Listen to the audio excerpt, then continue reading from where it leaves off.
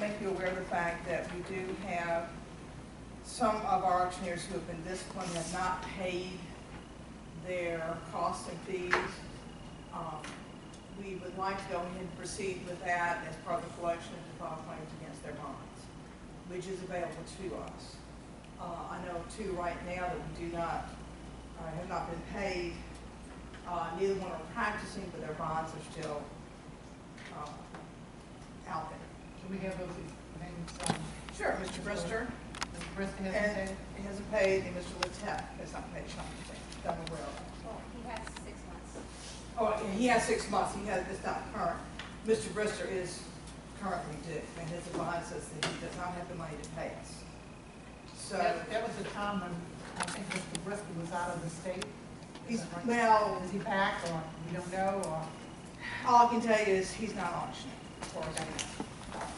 And he understands that, uh, whether he stays in the state or not, I can't.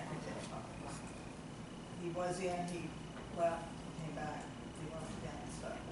Uh, I have talked to the bonding company for Mr. Brister. Um, there is money available for us. This is something that I want to make the board aware of as far as whether or not the board wants to, uh, go forward with this. I feel it's part of the collection process for the auctioneer's board to do. If you would prefer, we can put it on the agenda for the next meeting and go forward with it. Obviously, Mr. Littell is not here yet.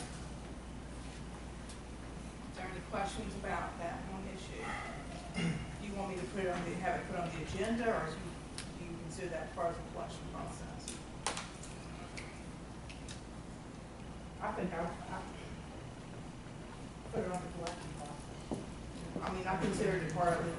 No, we don't need any particular, but we have an order from the administrative judge, which has not been appealed, is my opinion, that we can go forward with the election.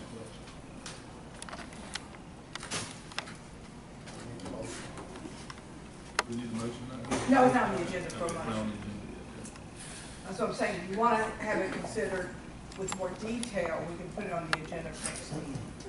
That would be up to you. But I think it's something that's just part of the normal process. If you're concerned about it, certainly. I will not do anything until the board meets again,